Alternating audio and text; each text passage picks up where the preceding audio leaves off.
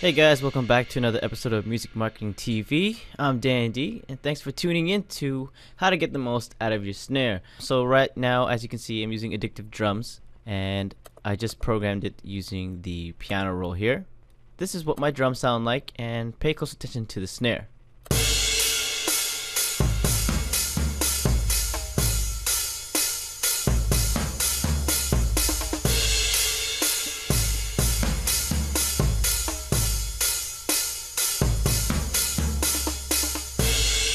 So you're probably like, where is the snare? If you listen closely, it is there.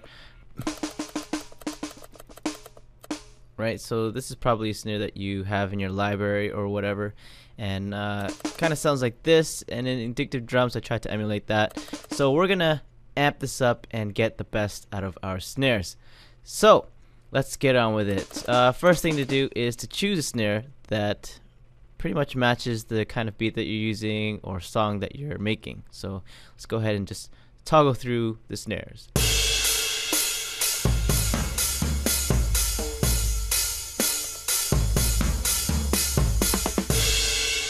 You can also choose the bigger the snare, the nicer this would sound, but that's not always true.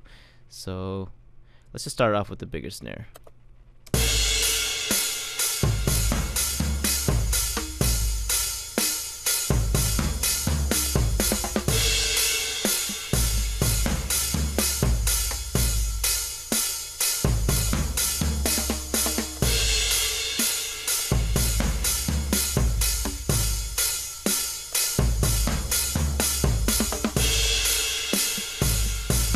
Think I found it. Now we're gonna amp we're gonna amp this uh, snare up. So let's bring it into the edit window. Now I just access that by clicking this little E button here, or you can go to edit over here and uh, we can edit the snare now. So the first things I would do to amp up my snare and get the most out of my snare is turn up some overheads. Let's listen to what this sounds like now. Big change.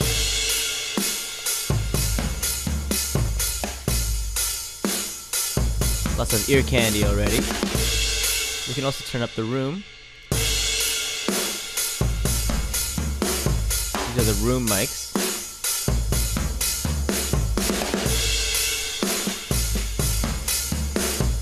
And already that sounds pretty good. We can enable the pitch and volume.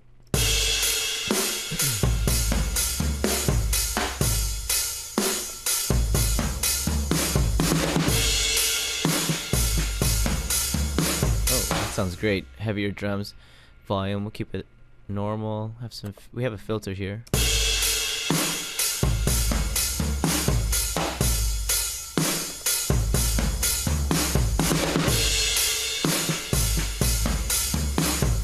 We can also go onto the bottom section here. Add some buzz.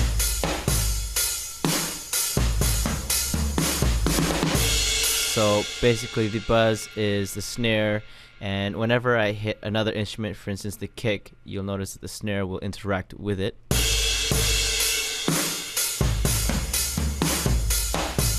see, with it off, you don't hear the buzz sound from the snare.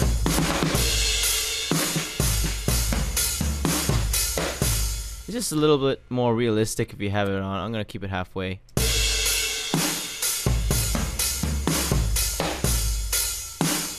More than halfway. Right, and we can also choose which mic we want to use, either top, or bottom, or both. Let's give a listen.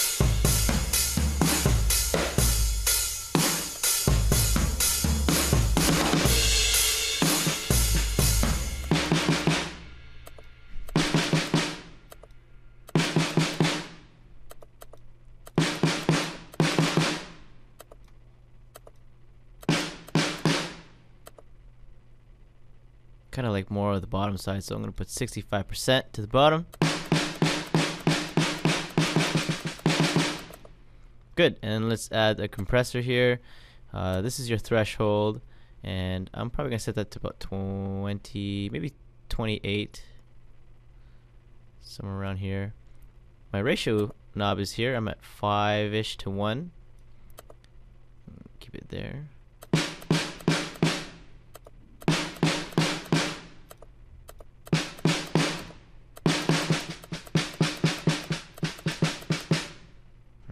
My attack is uh it's probably medium. I'm gonna make it a little quicker than that. My release is a little slower, that's good.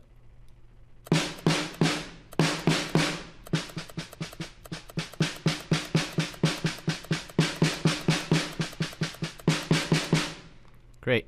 Uh, we can add some distortion if we wanted to.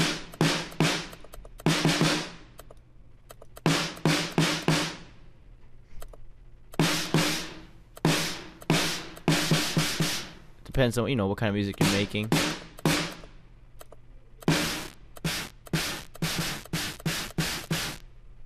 Right, all depends on what you're making. I'm gonna have that off.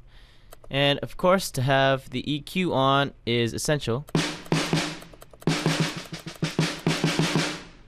don't want too much lows. Now, my theory is you want to take out the lows without affecting the snare sound.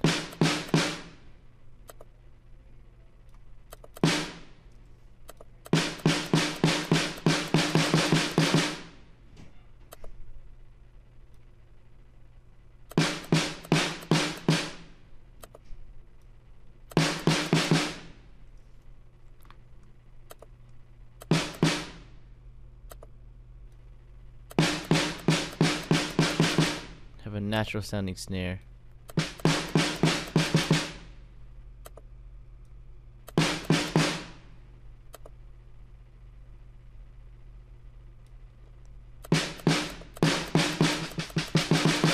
That sounds good, actually.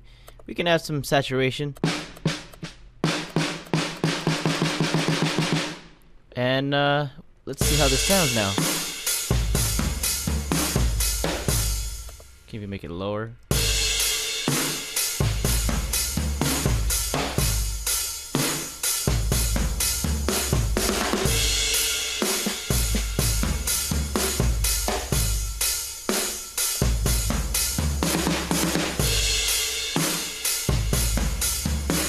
I like tuned down snares um, a lot actually. I don't know why.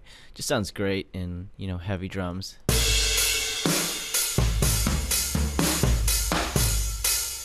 Alright, so other things that we can do is send it to the effects over here, and I have my room 1 and 2, and uh, right now, I don't believe uh, any of them are on. In order to send them to the effects, you have to go here, click, and I'm just going to send it to one of them.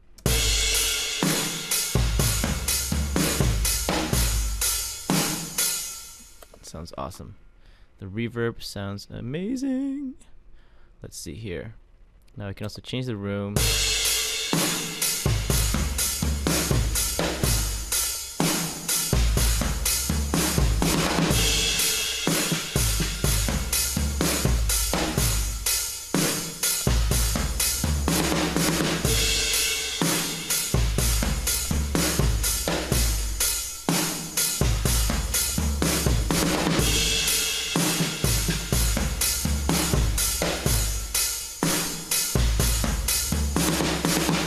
You have an EQ to get the right tone of reverb, the right sound of reverb.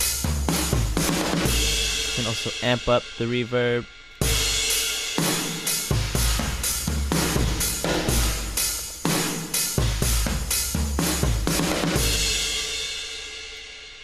You can also make it pre-master.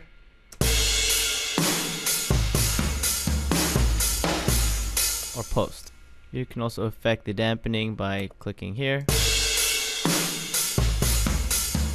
I like my dampening all the way up actually.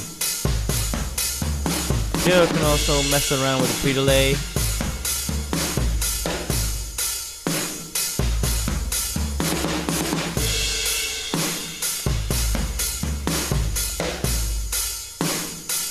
I usually don't go higher than 10 milliseconds, but that's really up to you, of course.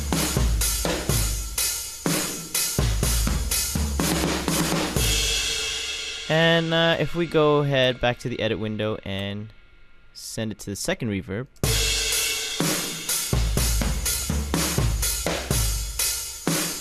You can hear the ear candy that it's doing. Very widespread reverb room.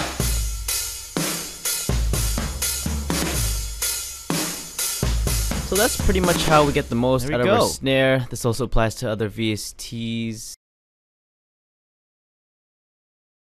Um, use know your tools, people. Um, you got some pitch tools, volume tools, compressors, distortion, EQ, saturation, reverb, rooms, different types of reverb, right? EQ the reverb, do whole sorts of things to everything that you do, and uh, you pretty much find the right snare sound that you're looking for. Right, so uh, thanks for tuning in to how to get the most out of your snare. And I'm Dan D, and I hope to see you guys in another episode. Thanks for watching.